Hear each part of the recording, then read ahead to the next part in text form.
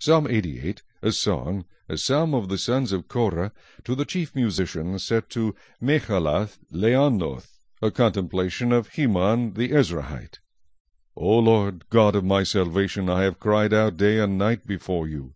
Let my prayer come before you, incline your ear to my cry.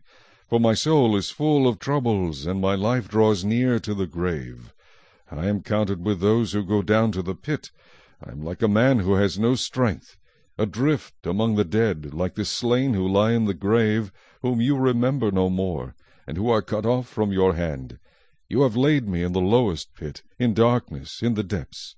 Your wrath lies heavy upon me, and you have afflicted me with all your waves.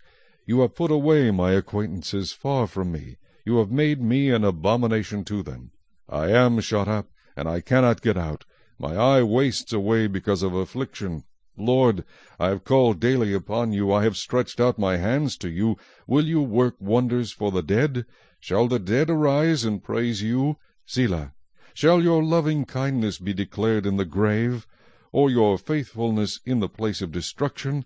Shall your wonders be known in the dark, and your righteousness in the land of forgetfulness?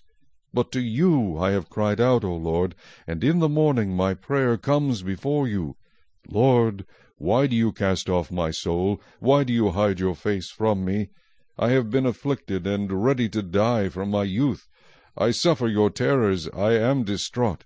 Your fierce wrath has gone over me, your terrors have cut me off. They came around me all day long like water, they engulfed me altogether. Loved one and friend you have put far from me, and my acquaintances into darkness.